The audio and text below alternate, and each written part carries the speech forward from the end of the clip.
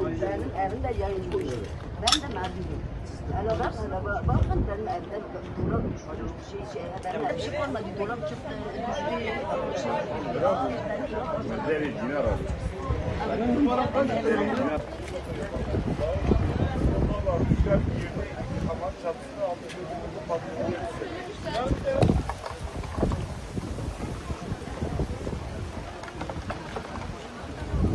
Alepleri ben kendim hazır değildim. Ben Çili'deydim.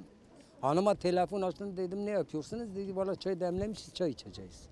Yalnız dedi ateş, e, rüzgar dedi bu taraftan kalktı dedi her an için dedi evlere sıçrayabilir. Arada 20 dakika geçti ya geçmedi. Eve aradım baktım ki cevap mevap kimse vermiyor. En sonunda benim küçük olan aradı dedi bizim ev kül oldu. Yani bu kadar. Ben geldiğimden zaten itfaiyeler geldiler söndürdüler. Ekip geldi, vali bey geldi. Bizim belediye başkanı geldi, Bayraklı Belediye Başkanı. Ya tabii ki bir- birisi birisine değse senin evin yansın. Yani insan diğer değmez şey olur, paniklenir şey olur. Zaten benim oğlan, üçüncü oğlan düştü, bayıldı hastaneye götürdüler. Diğerler yani işte perişan haldeyiz. Yapılacak bir şey yok. Şu an yardım talebiniz var. mı? E, devlet yardım verse tabii ki olur yani. 20 sene, 25 sene çalıştım bunu ancak becerdim yaptım. Evde zinnet eşyalarım vardı, paralarım vardı, o da gitti. Hepsi kilo alıyor. Kül oldu, hepsi kül oldu. Şimdi de alap geldi. Ben evinde bir şey kurtaramadım. Yani benim hallerim hepsi gitti. Benim dolabım gitti. Yani ben mağdurum. Benim kocam yoktu. Şimdi bu şu anda ben suda çatıya girme, şey tutmuş da şu çatıya tutmuş e, şey o şey hepsi içeri girmiş. Ben e, yeni gelin getirmiş o eşyaları hepsi gitmiş. Yani ben şey, benim evimde bir şey kalmadı. Çok korktunuz. He, he vallahi ben çok korktum. Ben çok korktum. Zaten bir tane abi, e, polis abi geldi beni kurtardı, beni e, o evde aldı.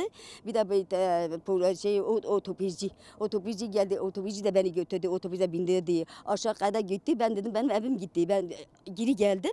Ben gidiyorum ve şu anda ben mağdurum yani. Evet, Yamanlar Dağı'nda dün gece başlayan yangın maalesef havadan ve karadan müdahalelere rağmen hala kontrol altına alınabilmiş değil.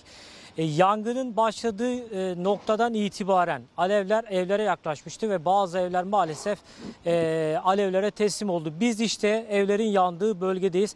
Hemen Mehmet Pamuk arkadaşımız sizlere göstersin. Burada resmi rakam değil ama onun üzerinde bir evin alevlere teslim olduğunu belirtelim. Maalesef yerleşim yerlerine de yangın sıçramıştı. Buradan da vatandaşlar apar topar bir şekilde tahliye edildiler ve burada ona yakın veya onun üzerinde resmi rakam değil dediğimiz gibi biz gözümüzle görerek saydık.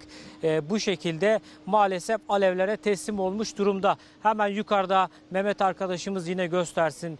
Ayrıca bir ev maalesef burada yanmış. Ekiplerin e, yoğun bir şekilde e, yangına müdahalesi devam ediyor ama maalesef çok sayıda ev, iş yeri yangın nedeniyle zarar o- zarar gördü. Bir önceki yayınımızı Karşıyaka Sanayi sitesinden gerçekleştirmiştik. Orada da çok sayıda iş yeri maalesef alevlere teslim olmuştu. Burada da Karşıyaka Yamanlar bölgesinde de maalesef çok sayıda ev yangın nedeniyle hasar gördü. Hemen sol tarafı Mehmet arkadaşımız gösteriyor sizlere kameraman arkadaşımız. Vatandaşlarımız çok üzgün maalesef evlerini kaybettiler.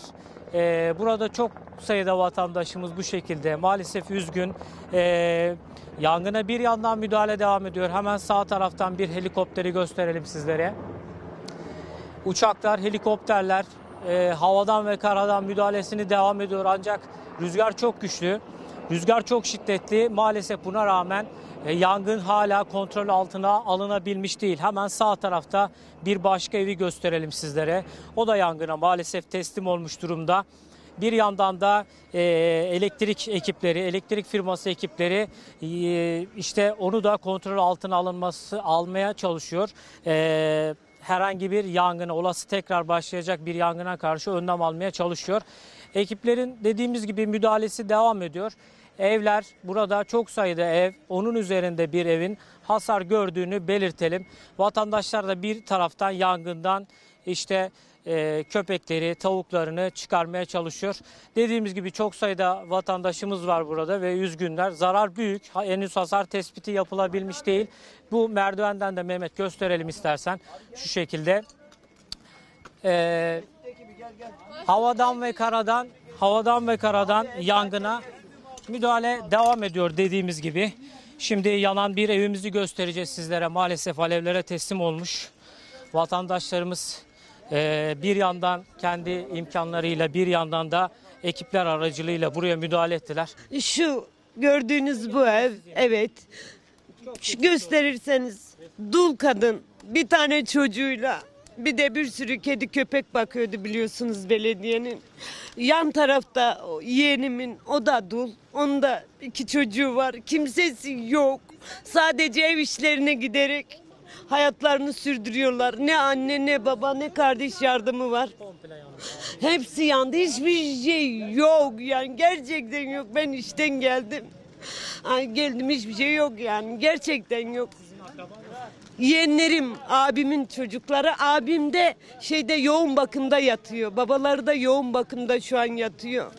Hastane, ev iş yerinden biz buraya koşa koşa geldik. Çok mağdur. Abim de mağdur gerçekten. Abi bir maaşı var. Hangi kızına getirsin? İki kızı var. E, bir tane bu kız çalışmıyor. Öteki kızlar zaten yeni üniversite. Cansu buraya gel yavrum. Siz de bu Gel. evde yaşıyordunuz herhalde. Evet, evet. Geçmiş olsun. Son anda kurtulmuşsunuz herhalde. O anları anlatır mısınız? Yatıyordum ben bir anda ses duydum. Saat 11 civarlarıydı. Zaten ses duymamla birlikte içeri bir ateş fışkırdığını hissettim. Öyle de oldu. Hemen hızlıca çıktım. Zaten evden ben çıkarken evim yanıyordu. Bir anda tutuştu benim evim. Ee, dün akşamdan beri yani dün daha doğrusu gü- gece 2 değil gece 2 değil gece 2 değil saat 9 sularında yani akş- akşam 9 sularında burada bir e, polis tarafından yani emniyet tarafından orada şahıslar yakalanmış. Ondan sonra saat bir buçuk iki sularında e, eş zamanlı 4-5 yerde yangın çıktı. Biz gördük buradan yani biz buradan görüyoruz gece. Sabaha kadar müdahale edilmedi. Daha sonra o yangın e, bu tarafa yayla yayla yayla şeye kadar gitti. Nafiz Gürman Mahallesi var şurası görüyorsunuz. O arka tarafa gitti. Oradan bu tarafa geldi. Yani U şeklinde düşünün şu şekilde. Buraya geldi. Buraya geldikten sonra burada hemen arka tarafta gördüğünüz gibi orman var. Bu orman çok şey. Ondan sonra biz buraya geldiğimizde 15 dakika içerisinde 17 tane eve sıçradı. Bizim evimizde hasar yok da benim burada akrabalarım, e, eşim, dostum, arkadaşlarımın evinde büyük hasarlar var. Ya bu hasar değil evler tamamen kül olmuş durumda. Evet. Geldim. Bu da evi yanan. Çok geçmiş olsun. Teşekkür ederim. Sizin de mi eviniz yandı? Evet.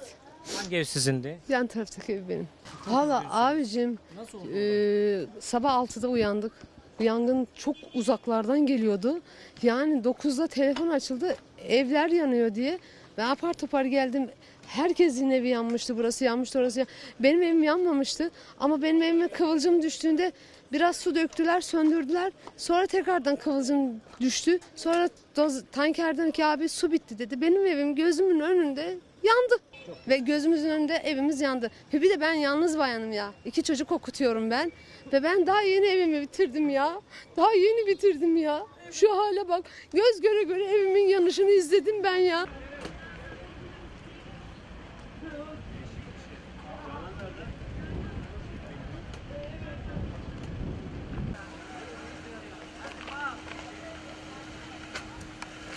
İçeriye de gir. içeriden de görüntü alalım ablalardan. Şey, Ben sadece yardım istiyorum. Gerçekten ikisi de çok mağdur. Kocaları yok. Birinin bir çocuğu, birinin iki çocuğu var. Okutmaya çalıştılar. Kız da ev iş, nerede çalışıyor Maygül? Ev işinde çalışıyor abi. İş olursa gidiyor, olmazsa gitmiyor. Ben halasıyım. Tamam ben yardım edeyim ama nereye kadar?